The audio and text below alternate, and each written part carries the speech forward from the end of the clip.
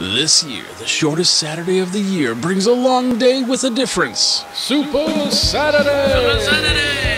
The 18th of December will bring a day of live broadcasts from office hours members around the world. The day starts at 7 a.m. Pacific Standard Time with an hour of live Q&A from Office Hours!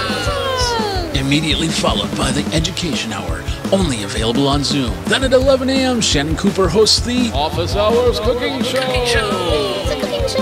Shannon, Alex Lindsay, and Denis Champion-Walker cook along with Damiante Gajar, who will be making Mexican rice. At midday, Todd Reynolds! brings us a live concert from his studio in North Adams, Massachusetts.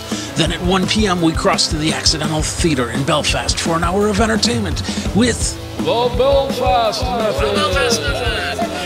And at 2 p.m., we bring you a special edition of. Conversations with Tony Mobley!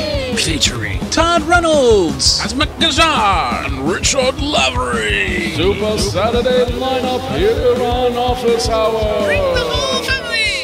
Here we are, office hours. Here we are, office hours. Here we are, office hours. Let's go.